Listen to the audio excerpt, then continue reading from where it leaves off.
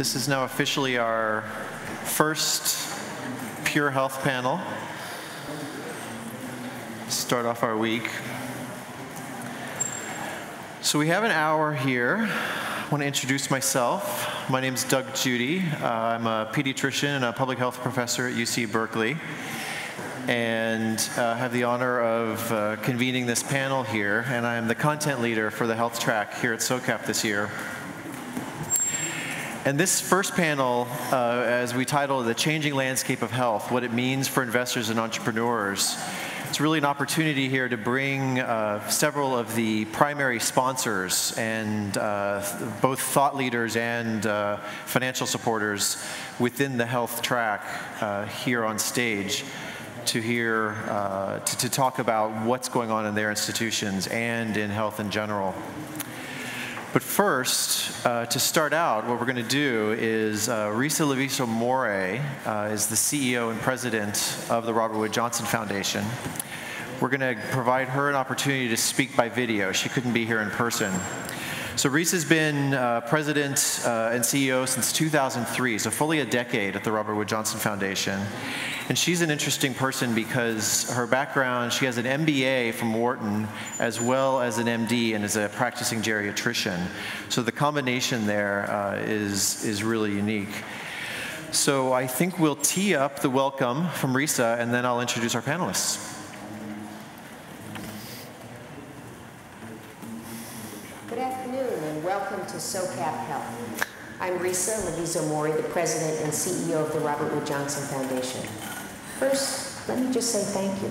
Thank you for wanting to make a difference and for believing that change is not something that we should wait for, but something that we should be willing to and daring enough to create. Robert Wood Johnson Foundation has spent 40 years believing that very same thing. As America's largest philanthropy dedicated solely to health issues, we've tackled tobacco, we've taken on childhood obesity, We've wrestled with the value, quality, and accessibility of healthcare, and we've done it because we know that the well being of our society and the vitality of our economy depends on connecting purpose with action. In other words, we're your kind of people. I think I speak for everyone on this panel when I say that we're all eager to help you connect with the communities and the networks and the innovative thinkers on the front lines. In fact, we can't wait to help you. As you heard earlier, many of the serious health challenges our nation faces today have little to do with what happens inside a practitioner's office and have much more to do with the everyday aspects of people's lives. Persistent gaps in income, education, housing, neighborhood infrastructure are damaging the health of our people and the potential of our country. In far too many cases, the length and quality of a person's life has as much to do with zip code as it does with genetic code. These disparities are moral issues, but they're also economic issues.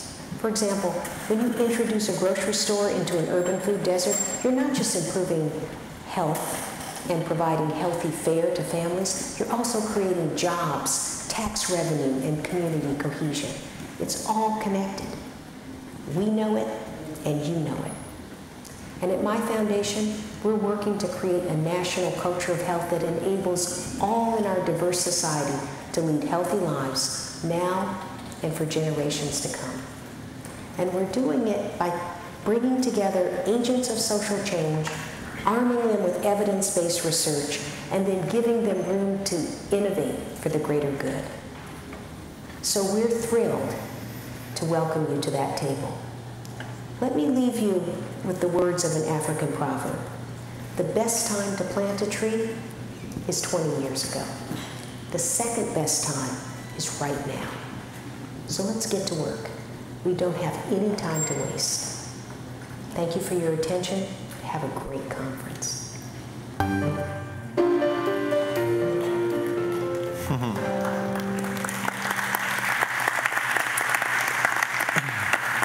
You can see why uh, we wanted her here, even though she couldn't actually be here. She's an amazing speaker and a, a, a real inspiration.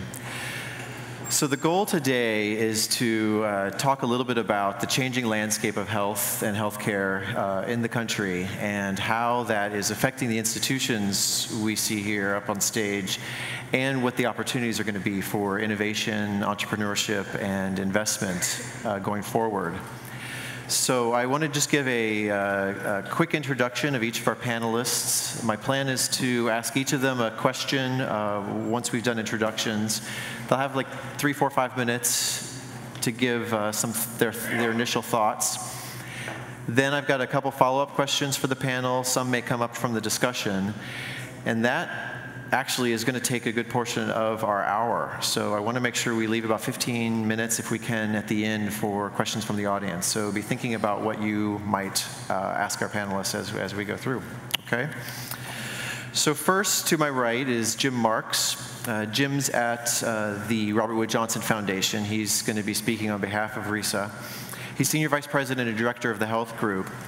And uh, has been there since 2004, so a long time now. Uh, he retired previously, he was Assistant Surgeon General after serving as the director for the CDC, the Center for Disease Control, not Community Development Corporation. Uh, the Center for uh, National Center for Chronic Disease Prevention and Health Promotion. Next to him, we have Karl Hofmann. Karl's actually a former ambassador to uh, Togo and has been at the PSI, uh, Population Services International, since 2007 and uh, brings our global perspective to our panel today. Next to him is uh, Tony Iton. Uh, Tony is, uh, strikes me as potentially the person with the most letters behind his name as a uh, doctor, a lawyer, and a public health professional and he served as the director and county health officer for Alameda County across the bay uh, for a number of years before coming to the uh, California Endowment in 2009, where he's senior vice president for healthy communities. Uh, Kimberlee Cornett is next. Uh, she is the director of social investment practice at the Kresge Foundation, which is based in Detroit. She's been there since 2009, and before that, she worked uh, for the Enterprise Community Investment uh, Company, working in real estate investment for affordable housing and community development. And last, we have David Erickson. David's at the Federal Reserve Bank of San Francisco. He runs the Center for Community Development Investment and is the editor of the Community Development Investment Review, uh, the journal there. And is unusual at the Fed because he's actually not an economist, he's a historian.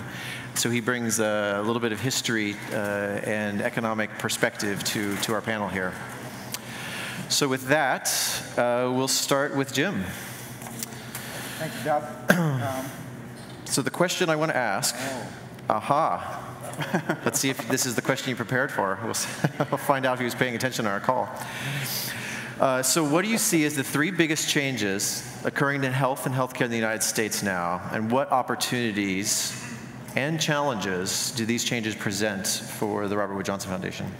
I'm going to answer it in a little bit different way. I think we're at a, at a real inflection point in uh, health and healthcare uh, it is very clear that the healthcare system we have cannot be fixed with changes at the margin.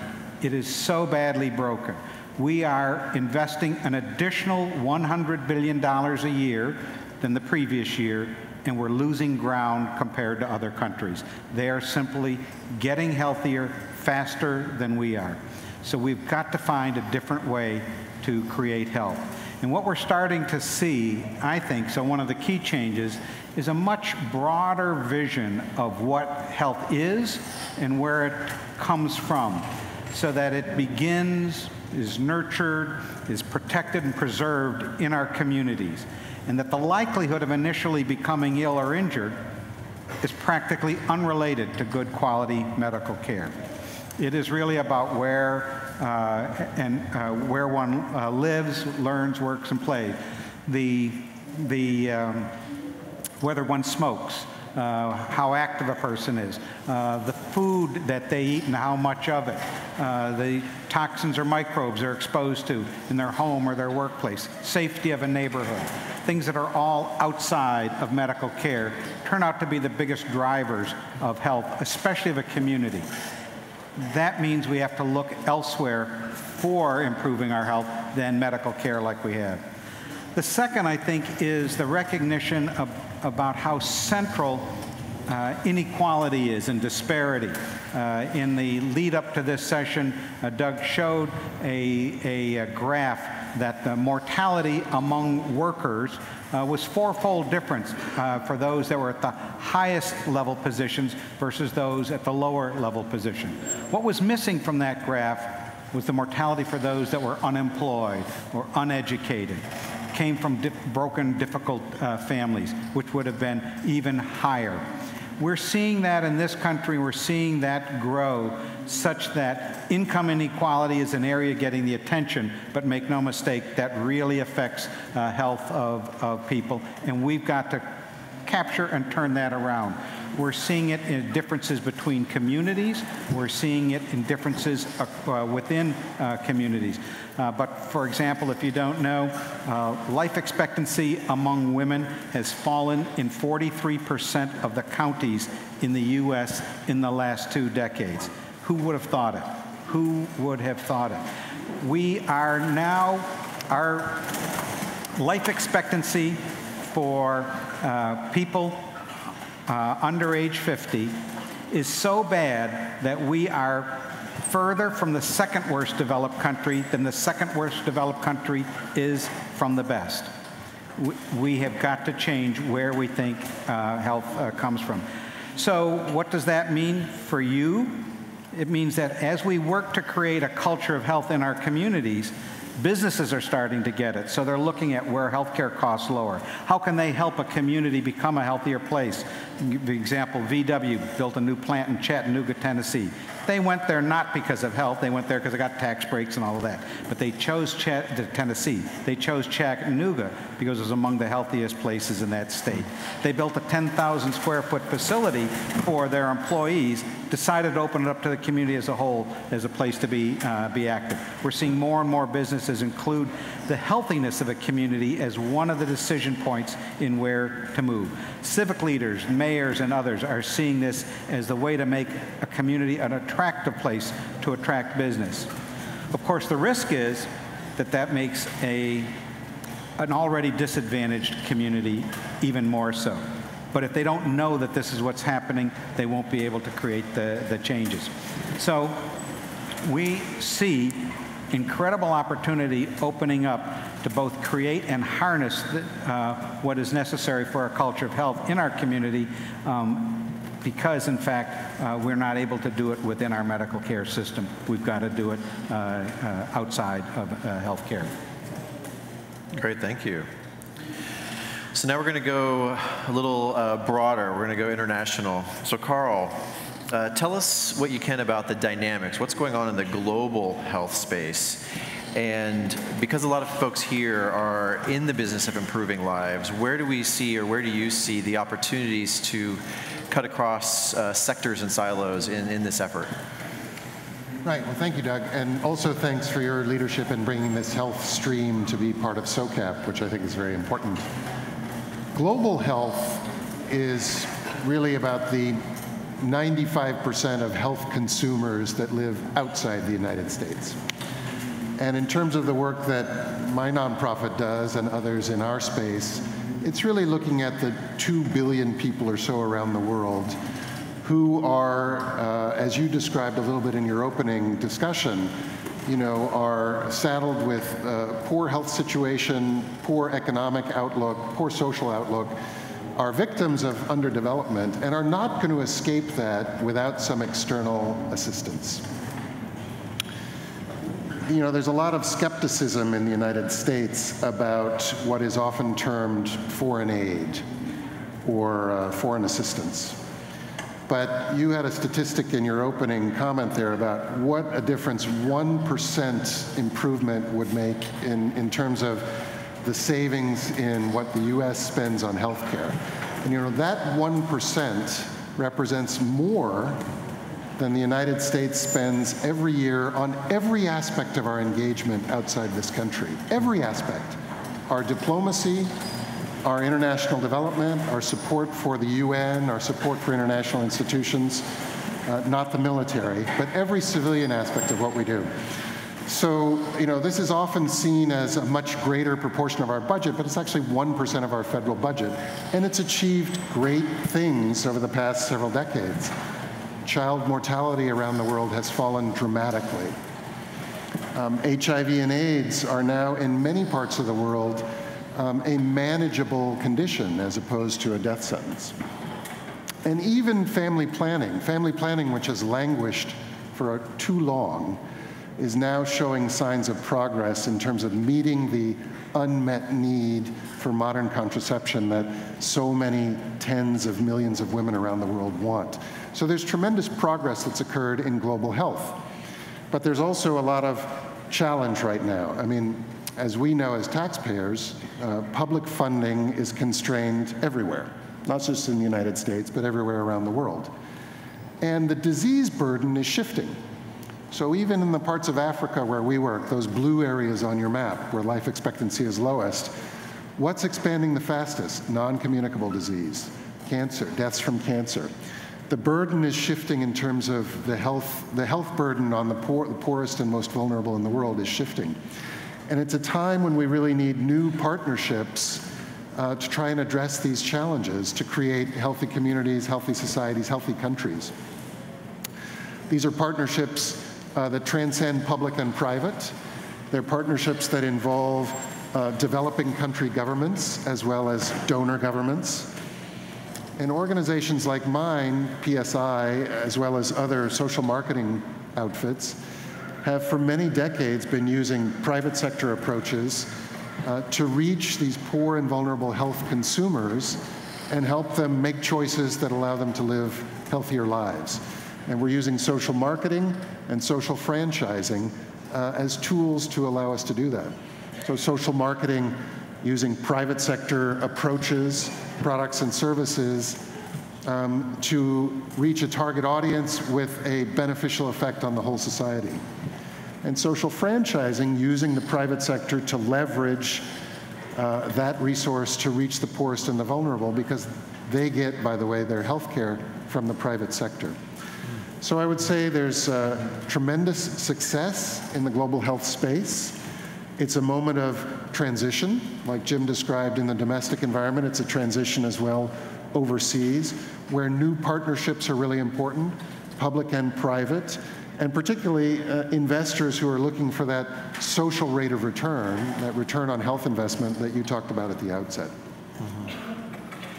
Can you say another word uh, just in terms of the scope? Uh, where, where all is PSI working sure. and, and uh, what are the specific focuses? Sure. So we've been around for 43 years. We work in 65 countries around the world. We have about 9,000 employees. We, uh, through the largesse and the support of taxpayers in Europe and in the United States and through the sale of products. Uh, have annual revenue of about $550 million. And we are reaching tens of millions of health consumers every year and averting years of life that would have otherwise been lost to death or disease. So we use DALYs as our performance metric. Mm -hmm. Great, great. and actually, another panel later this week is going to talk about uh, the health return on investment, and specifically, uh, a woman named Amy Ratcliffe is going to be talking about these DALYs, these disability adjusted life years that PSI actually calculates and helps then determine where their investments go and, and, and measure your success, which is a very, really we're, exciting. We're a nonprofit, but basically DALYs are our retained earnings. Right. That's what right. we're aiming for. All right, Tony. So the California Endowment, and this is your particular piece of the California Endowment, has a 10-year strategic plan to invest in 14 communities in California and the health of 14 communities. So what changes in health and health care recently and into the future are going to have the biggest impact on your work in these communities and your investment in these neighborhoods? Yeah, so um, first of all, I can't see anybody in the audience. These lights are, are so bright and it's, it's really always important for me to see people's faces and their reactions to get a sense of whether they understand what the hell I'm saying. Um, so, so let me give you kind of a little bit of the bottom line of what um, what we're trying to do. Uh, first of all, just imagine this. Um, I have a dream job. It's, a, it's like an incredible job because somebody gave me a billion dollars and said, I want you to take this billion dollars and over the next 10 years in 14 low income California communities, do whatever it takes to improve the health status of the populations in these places. And by the way, don't invest too much in healthcare because that has proven not to be all that effective.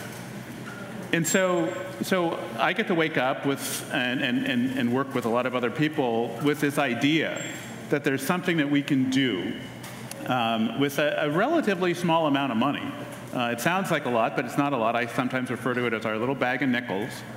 Uh, to figure out how to catalyze uh, health status changes in 14 underinvested communities throughout the state, from rural to urban, um, a couple of Native American reservations, uh, some uh, Central Valley farm communities, uh, and we really don't have a textbook for doing this, which is why I'm you know, very delighted to be here and wish I could see your faces, because uh, you are actually quite critical to helping us figure out how to do a lot of this work.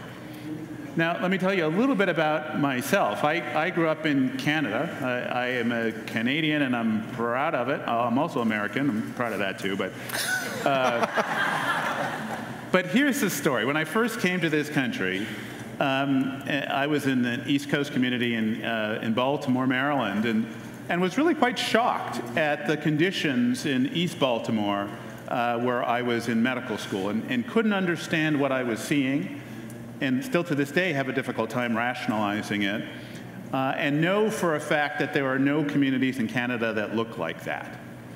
And one of the things that struck me was that people in this country kind of have a tolerance for conditions that in other parts of the world would be intolerable, certainly in developed countries. And when you're poor uh, in this country, that you pay an enormous social cost of being poor. If you're poor, you tend to live in a neighborhood where you have to worry about crime. You tend to live in housing that is, you know, substandard, typically overcrowded, uh, full of, of triggers for disease, and um, is unstable. You tend to live in communities where there are poor schools. So, and I could go on, but everything is stacked against you. The social cost of poverty in this country is extreme. You can be poor in Canada and live in a neighborhood with great parks, great schools, uh, great housing. I went to university for free in Canada. Um, so the issues that are facing people's health trajectory in this country are structural and they are man-made. And so what we need to do in our work is to enlist your brilliant minds in figuring out how to undo some of these structural impediments to people's life trajectories. And we've recognized that that work requires a deep understanding and a deep investment in human capital. We have to figure out ways to harness the talents of people who live in these communities and enlist them in the crafting of 21st century solutions around health that'll benefit all of us. And that's a, that's a fun job. Let me just tell you, that's, that is just fun. Uh, what I, I think is typically not well understood is that health is really about opportunity. Health is about hope. Health is about having control over the future of your life. And to the extent that you lose that hope, that you lose that control, you tend to make much shorter term decisions. You're much more likely to smoke, you're much more likely to drink to excess, you're much more likely to drive without a seatbelt, you're much more likely to have unprotected sex. All of those things are much more likely to occur in populations that feel they don't have control over their future. So our work is really, I tell my staff that, you know, you're really hope salesmen. I mean, your goal is to really figure out ways to leverage the broader economy to actually invest in human capital and build hope. And that's why I'm excited to be here. I appreciate that. And I want to highlight, too, uh, that we do uh, this idea of the what we call platform communities. We have a session coming up later this week, if you're interested, specifically thinking about, there's a, we have a, three or four different organizations that are working with communities, and how would entrepreneurs, investors, work directly with these particular identified communities uh, to, to bring out the best of both sides. Kimberlee, my question for you, so you represent Kresge, a national foundation that has not been traditionally a primary health uh, health has not been a primary focus. So, what role has your foundation taken to address the changing landscape of health and healthcare? And what can you tell us about some of the recent investments that Kresge has made in this health arena? Sure. So, uh, I would say that Kresge. Um, if you had to find an overall theme about the foundation is really about community development. And my job at the foundation is somewhat unusual in that I'm not a grant maker. I was brought to figure out how to build a financing practice inside the foundation that would complement the strategies um, that the foundation had prioritized. And one of the kind of low-hanging fruit um, that, uh, that seemed ready when I was um, trying to get my feet on the ground was the grant making that we were doing uh, to federally qualified healthcare centers healthcare centers that had a revenue stream, and it occurred to me that there was an opportunity to use debt to build those uh, new healthcare centers rather than to use grants. And some of that had been going on through CDFIs, particularly NCB Capital Impact, um, but it wasn't really at scale. And so that was kind of the, the first starting place for us. But as, and I was not a health person, I really came from the housing world. But as I've learned more about health and its uh, relationship to community development, health to me seems really kind of like the super vitamin for community development, if you will. Because through better health outcomes, you can get better educational outcomes, you get better employment outcomes, you get better earnings, which result in more tax dollars.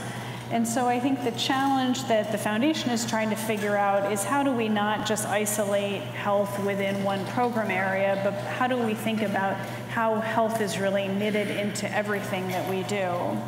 So we really started out with a very simple strategy of trying to push debt uh, into the CDFI market and build an understanding about how that debt might build uh, new federally qualified healthcare centers. And I think with several excellent partners, we've had some early success there. But I think the next and higher challenge for us is to really figure out not just how do we build more boxes of healthcare facilities, but how do we really influence what happens inside those boxes not just on health outcomes, but also on cost and care efficiency.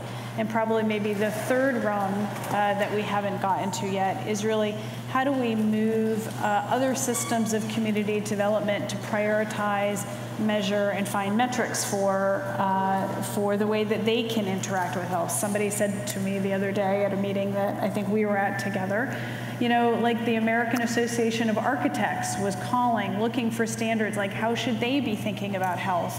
Which sounds like, I don't know, a little puzzling to me. But I think that's really the frontier that we need to get to and the aspiration, which is that it's not an isolated group of the believers, which we all are, but really it's different, many different constituencies thinking about how health can be a part of their work on a day-to-day basis. Did you want to mention any particular example of, uh, oh, I think she's maybe got to adjust here. Sorry. Okay. Did you want to mention um, the Healthy Future Fund specifically, or any any sort of uh, uh, one of the names of the uh, the investments recently? Yeah, Just sure. to so give we, um, we have done a number of uh, debt investments through CDFIs. We did uh, an interesting fund last year that was called the Healthy Futures Fund that was a partnership with LISC and Morgan Stanley which was a $100 million fund that used low income housing tax credits and new market tax credits. It was kind of bifurcated in two pieces. The new markets was about building uh, new health centers, and the low income housing credits was uh, directed at projects that have health services embedded in them. I really think that's like a 1.0 version of where I hope we can go because this is really about having a visiting nurse come to come to a housing uh, development. It's about a van service that takes people down to uh, a clinic. That's really only that's the beginning of where we need to go. But there is this large chasm that exists between housers and health providers and health providers and other service providers. And some of those, and I think it's been a role that the foundation has played, is just helping people to get to know one another. Because, I mean, we all know that we transact business better with people that we know, and it's been shocking to me. I'll tell you a funny story. So, when I was trying to figure out the whole healthcare landscape, I went to a developer friend of mine that I knew really well, and they owned uh, a home healthcare business. And I said, Tom, you know, what do you guys do with FQHCs? And he goes, FQ what's? And I said, FQHCs. And he was FQ what? And I federally qualified healthcare centers. He goes, oh, he goes, uh, all, all our patient, all our, our tenants, um, they're covered under Medicaid. And I said, I know, but where do they go? I mean, you're housing 50,000 people. And he goes, you know what? We really don't know. And I mean, it's just an example of even the most sophisticated among the housing developers, um, up until this point, perhaps haven't had a full understanding of, um, of where their patients are going. Probably our, uh, our most recent investment, which I'm really pleased about, is with the Colorado Coalition for the Homeless. This is uh, an organization based in Denver that is not just a housing developer, but also an operator in FQHC. We've recently done a line of credit to that organization to allow them to expand their health services in, uh, in advance of um, healthcare reform we did that, uh, that line of credit based on performance. So we set an interest rate on it, but that interest rate is going to decrease as the health uh, outcomes of their tenants improve. And so we feel like it's a way as a social investor that we can drive an organization uh, to a greater um, uh, a, a, greater level of impact that they want to achieve and really monetize that uh, in terms of a, a, a, discount that they will benefit from. Yeah, the reason I like those examples is because it's carrots, not sticks.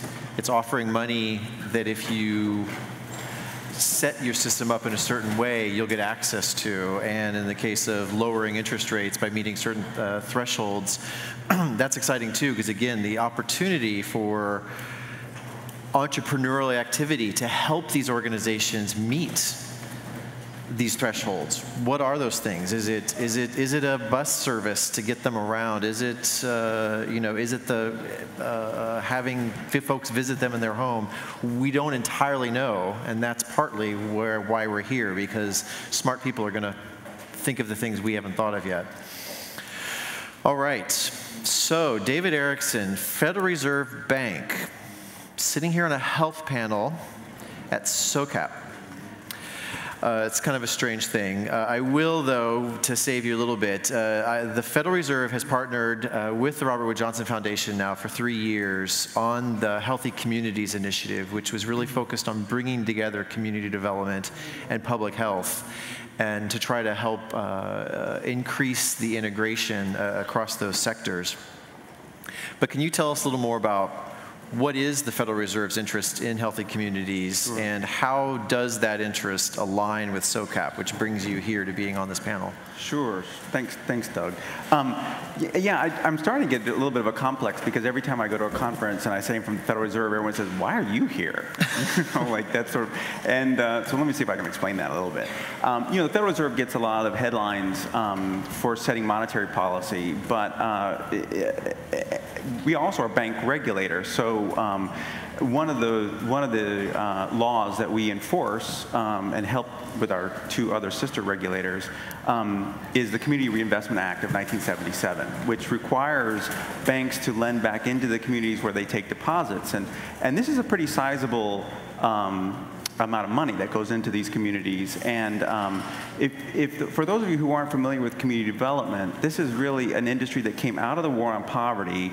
Um, it focuses, over the years, it has sort of morphed. It was kind of economic development, community empowerment. It sort of is morphed over time to focus more on building this sort of community amenities that would make a, a, a neighborhood more viable. So, um, and, and, and the, the, the, subsidies that go into this are, are in the neighborhood of about $20 billion a year the workhorse here is affordable housing development um, that's usually service enriched. So either it's for frail elderly or you know um, single parents or people who are formerly homeless, people like that that, that, that need some services in addition to their housing.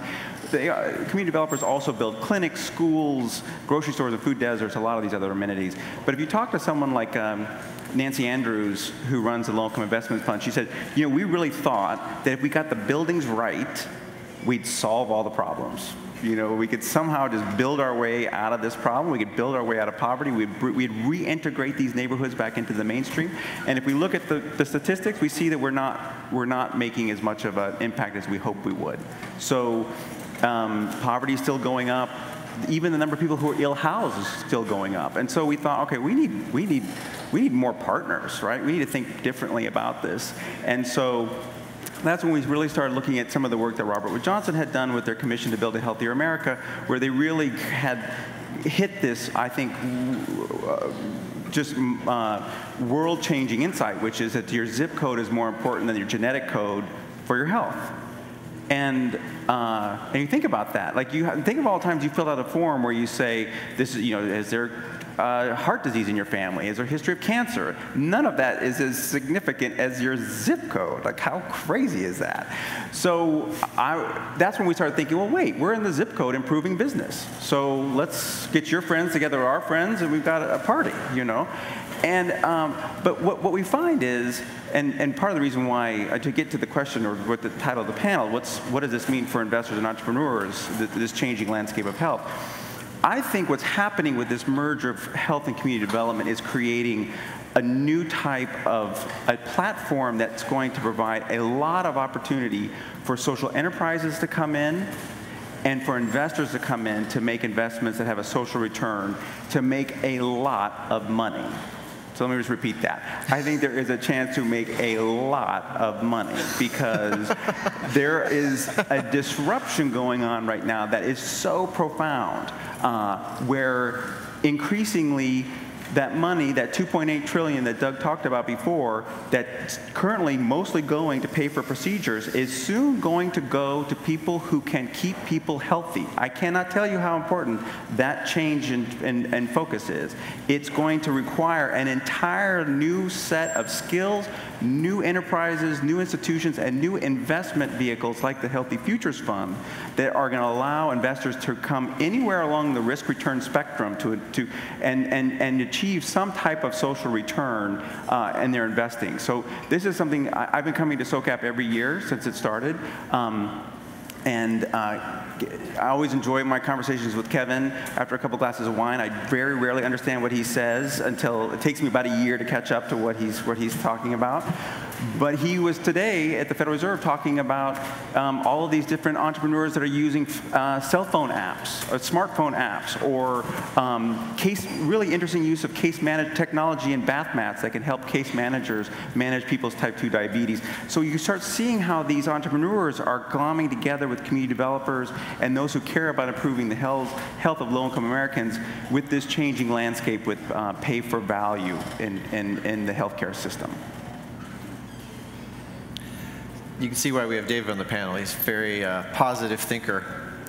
Um, you actually started to answer one of the questions I wanted to ask the panel, uh, getting to it. So one of the questions we discussed is the term you've used it before, David. Actually, the the Federal Reserve actually held a meeting earlier today uh, in alignment with SOCAP, focusing on community development, health, impact investing, and social entrepreneurship all mixed together in a room at the Federal Reserve Bank, which is kind of exciting. But we talked about the health imp impact economy. So the question we'd talked about. And so if each of you maybe thinks just for a minute or two or, or, or, talks for just a minute or two, in order to create or move forward a health impact economy, who are the partners we need to have and how do the types of entrepreneurs and innovators and investors that attend meeting this meeting fit into that calculus and also specifically for your own institution moving forward? Maybe i'll start uh, doug. The way i see it is that there's almost no sector that doesn't have an influence on health. But most Oop. Yes. Can oh, you there hear we me? go. There okay. we go. There you go. Sorry, I have no control over it. uh, there's almost no sector that doesn't have a real influence on health. But most of the time, they haven't assessed that. They haven't used that to. Uh, uh, Mon- they haven't monetized it, say, what's the cash flow or who gets the, be- the benefit from that? And we have a lot of interventions that are aimed at reducing the cost of illness, but very little about capturing the value for health. And that's one of the things that you out there looking at how do you improve health? And then how do you find the funding streams that benefit from that mm-hmm. is what we need. But it is, it, whether it's in agriculture, whether it's in transportation, even in uh, uh, schools. Uh, and so when you look at community development, it's not just about housing, but it is about, is there a supermarket there? Supermarket that brings jobs. We know better jobs lead to better health. Uh, supermarket that brings uh, fresh fruit and vegetables that even people of low income will buy more fresh fruits and vegetables if it's easy for them uh, uh, to do so. About a, uh, a an, a, uh, FQHC, a neighborhood health center that can provide uh, uh, quality uh, care and perhaps help them get to other services they need. In fact, one of the, the areas where there's really good evidence is that um, if you build housing and then build services into it, connect it to it, so that the residents who have their struggles can get those services, service enhanced housing, they do better. They do better for longer, their families do better, and it is an added value for very little additional marginal cost to the housing. That's an area that's well known, well studied. So I think it's, it's, there are opportunities there but we just have got to harness them and understand how do we get the value for health and turn that into the the uh, the monetary flows that uh, mm-hmm. um, you all will uh, use, and, and your banker says there's a lot of money for it. Yeah, a profit to be made. So, Karl, on the global stage, yeah, I would say, you know, we're, we're, we like to think of ourselves as in the health impact business. This mm-hmm. is our core business. Um, and I, I, think in the global health space, um, one of the perils is that uh, this fantastic, you know, technological innovation that you talked about, David, and the interesting ways in which new entrepreneurs are coming into the space, it's often assumed that that's the real obstacle that needs to be overcome when you talk about the 2 billion people that we are potentially working with. And although all of those things are crucially important, um, I think the reality is in our space, really what you need is partnership with people who are just core process improvers. Hmm. We are not looking for the new silver bullet. Many of the interventions already exist. The low cost, simple interventions exist to save people's lives. It is simply a matter of getting it into their hands or getting them to the facility or getting, um, you know, getting the supply chain to work better. You know, we, we, for instance, with funding from a foundation, we do a lot of work with male circumcision, adult voluntary medical male circumcision as an HIV prevention tool in southern Africa. And um, ensuring that we could get the maximum impact among men who wanted that service was really what? It was a process improvement question. It was how do we get the right services and the right commodities with the demand creation in the right places. And these are not highly, I mean, this is, this is a many thousand year old business we're talking about. Not mm-hmm. great technological intervention, uh, uh, innovation here. So what, a lot of what happens in the global health space depends on simply making what seems boring better mm-hmm. and faster. Mm-hmm. And that's how we save more lives in that space. Yet it's uh, maybe because I've spent many hours thinking about content for this week, but I'm going to plug another panel related to that. But that, that issue is really critical, and I wanted to make sure that here at this meeting that we don't think that tech technology is always the solution. That here in the US as well, there are systems changes, but sort of what I think of as people oriented changes. We're going to have a group called Health Leads speaking later this week. Uh, it's called Beyond the App, is the name of the panel, talking about how you actually allow a physician to identify, like I talked about earlier, a housing problem, writing a prescription, giving it to the patient or the family. They go to the front desk, and someone there is trained and has the resources to actually connect them with housing resources, something that I can't do as a physician, but they can do. That, that's a, that's a Google, that's simply having an iPhone practically. It's not, it's not the technology of it, it's having a person there to really help close uh, as a case manager, which is what's missing. Right. Tony, any thoughts about partners uh, with the California Endowment and how, uh, what the opportunities are there, or what you need? Yeah. Uh, so, you know, when when you go through public health training, you learn these obscure terms like the social determinants of health, uh, which basically just means the social causes of health. And you learn very quickly that the two most important ones are income and education. Everything else is basically derivative of income and education in this country. And if you talk about income in this country, changing income, redistributing income, you know, everybody brands you a socialist and chases you out of the room. Um, so you can talk about education, um, and people basically will give you a hearing. Now, when we're I'm not focused on individual health. I'm focused on the health of communities, which is really about the structures and opportunities within a community that allow people to pursue opportunity.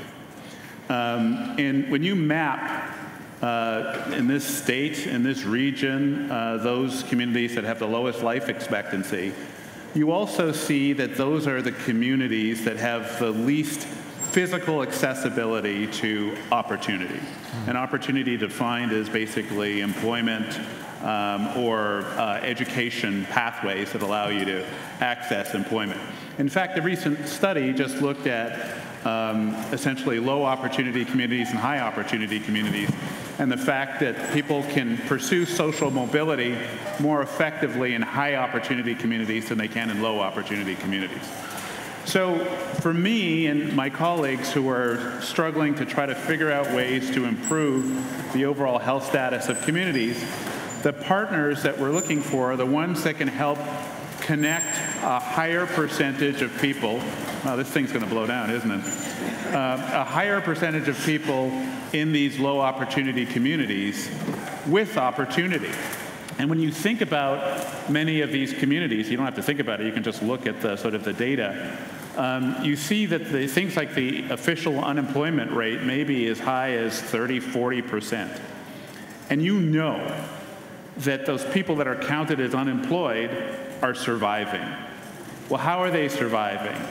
They're operating in an informal economy. They may be going to flea markets and purchasing stuff and reselling them.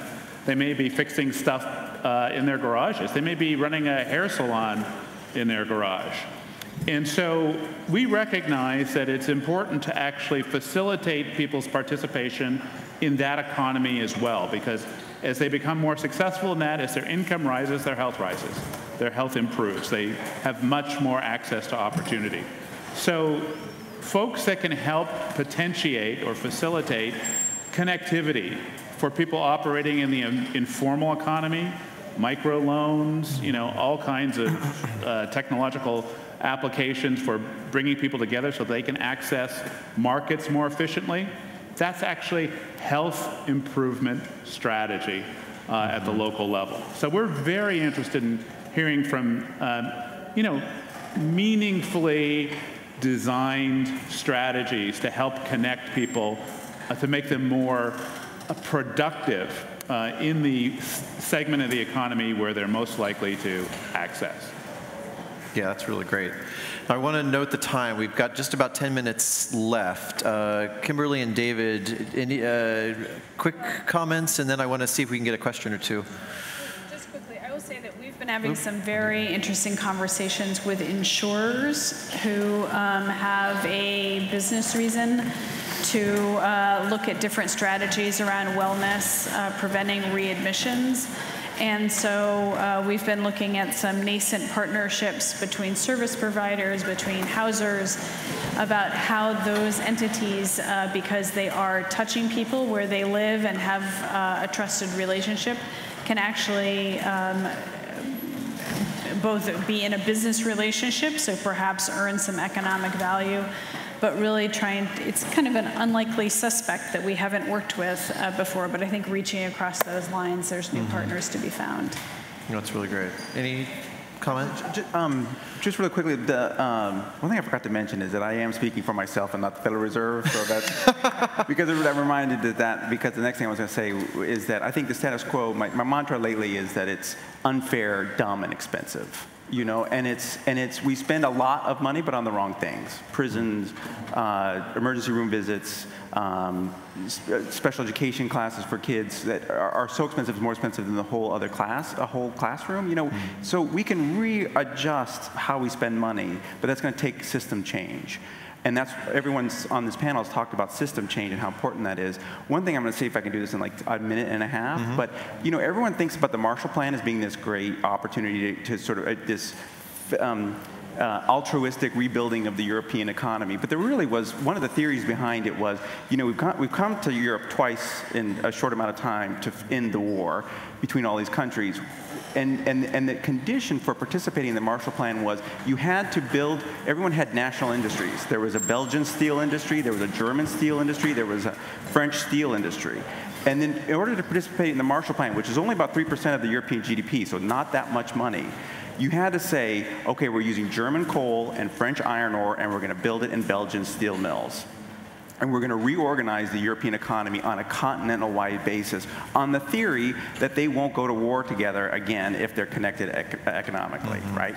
And so you have uh, what became the, the, uh, the, the, the coal and iron ore league that became the common market that became the EU, right? So these small changes, small amounts of incentives can really change systems. I think foundations need to lead the way and how they can create the prototypes that show the way, and then I think government needs to come in behind them and start changing the systems and, and policy. And that, those, that I think, then we can start seeing, then there's going to be a rich opportunity for entrepreneurs and investors to fill in the gaps and fill out that new economy. Great, thank you. See a historian. We had to get a little history in. Uh, yes, why don't we see if we have time for a couple questions. Uh, try to keep them short and question-oriented, not long uh, statements if we can. We've got one right back here.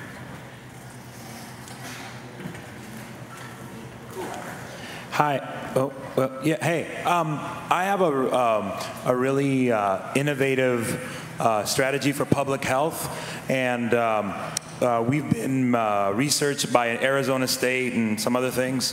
Um, but one of the things we uh, discovered was that the medical community has a certain set of metrics uh, to say what success is. Are investors using the same metrics hmm. uh, as the medical community for met uh, for what success is to what they fund? Because uh, if they did, it feels like no one would fund anything because it feels like the medical community, especially the public health, has a strict criteria. Yeah. Anyone want to try that one, Jim?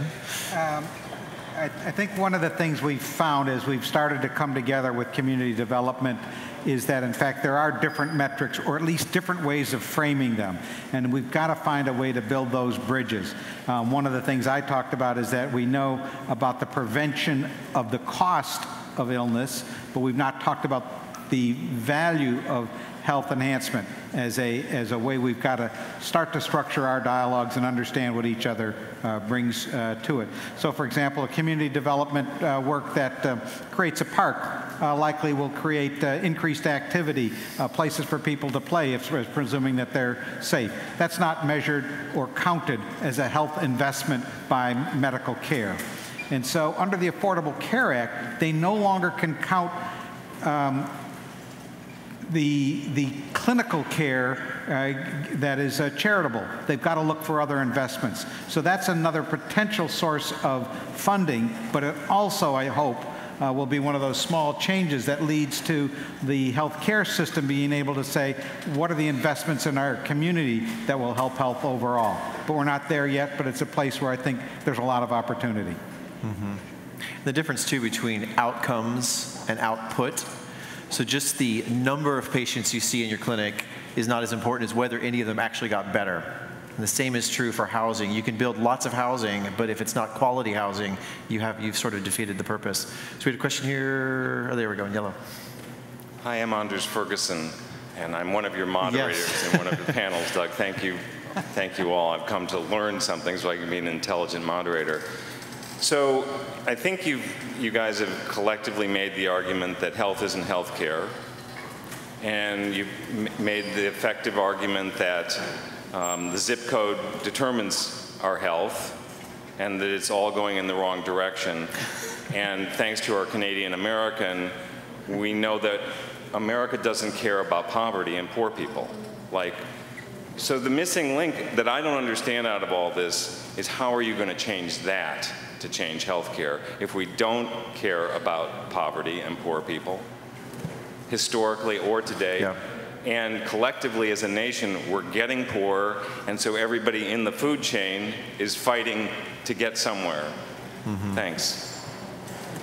Yeah, go ahead, Tony. Yeah, so, so thanks for that question. Um, and it's, it's something we think about all the time. You know, how do we get people to care about this? But, you know, there's sort of two answers to that question. One is that and if you look back historically in this country, you know, the historian could probably do a better job of this. Um, you know, people didn't care about civil rights. People didn't care about HIV AIDS. People didn't care about gay marriage. I mean, people didn't care about disability. Um, but they were made to care um, by building the power of people who recognize this as a priority issue. So part of our work is to essentially, and I, I say this very openly, health is political. You actually have to build social, political, and economic power in a critical mass of people in the communities that are most impacted by these outcomes so that they can actually take hold of the reins and change some of the priorities in those communities. I mean, that's really important. But the second piece that I think is, in part, what I'm hearing a little bit when I hear about the Federal Reserve's interest and, and, and some of the non traditional health players' interest in this is that we are heading down a path just with chronic disease that is bankrupting local government, bankrupting state government, bankrupting the federal government, bankrupting the private sector. I mean, when you see people go on strike, it's typically not wages that they're arguing about. It's like who pays for health care. So, you know, there's all of a sudden all of this aligned interest and concern around this problem uh, about escalating, spiraling, healthcare costs. And you can't get to a solution in the healthcare delivery system for that problem. You have to get outside the doors of the healthcare delivery system and look at community, look at community infrastructure, and redesign the healthcare system as fully integrated in, in the community. And so that's a challenge for all of us. It's not just the health of poor people that's uh, at issue here, it's the health of all of us. Mm-hmm. I'll, oh, go ahead. Try to add a little bit. So what we're seeing here and, and I hope that you are, you're entrepreneurs. We think that there's market opportunity in this area. Right. When we looked at in the area of obesity, the companies, the food processing food companies that did the best, had the best stock market performance, the best reputation, the best profitability, were those that were increasing the proportion of their product offerings that were better for you. So you don't have to do this only as a social good. There is market opportunity. Some of it may not be at market rates, but we think that there's a lot of opportunity uh, uh, there. The other is, frankly, like, uh, like Tony said, there, we need a movement where health is a shared social goal. And then we say, we look to our decisions made in our various sectors and say, does it help health? If not, what does it take to add to health? Uh, and how costly is that for that added health benefit.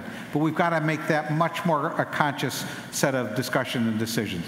Mm-hmm. And I'll just add one thing too. When Kevin Jones, who's one of the founders of SOCAP, spoke at the Federal Reserve Bank earlier today, he put it very bluntly and said, when the market sees that money can be made on poor people, meaning the delta, the change in health the largest savings will be in those who are worst off. That will move money in a new direction. And I think that was a fascinating and very different perspective than I would have as a physician and a, and a public health professional. But that's one of the main reasons we're here. So we've got one last question, I believe, back here, and then we'll wrap up. Hi, my name is Maria May. I'm from BRAC, based in Bangladesh. Um, my question to the panelists was that I feel that a lot of what I'm hearing is really refreshing to hear in the domestic context, but it's uh, the approach that we've been using in global health for a long time. and so I wondered kind of what strategies you're using to learn from what's happened globally, particularly in developing countries, and how you're planning to apply that here. Thank you. That's a very good question. One, one of the things that's interesting oh. about the, the, the, the, next generation of community health centers is really based on a South African model from the, before the apartheid government with the work of John Castle, where he basically said, we're going to, the clinic will adopt the whole neighborhood as its patient, you know? And I think this is really important that the ideas about how we make these changes shouldn't stop at the border, that we need to sort of borrowing from other countries to get, to, to get the best ideas possible to make these changes.